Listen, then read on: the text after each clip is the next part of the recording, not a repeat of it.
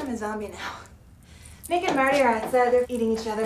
I'll be in in a second. Who? I'm here to dismember Burt. Is he around? Yeah, he's in the next room, but Falcon, if you go right through there, you might be able to get a jump on him. Stop pushing me! Stop pushing me!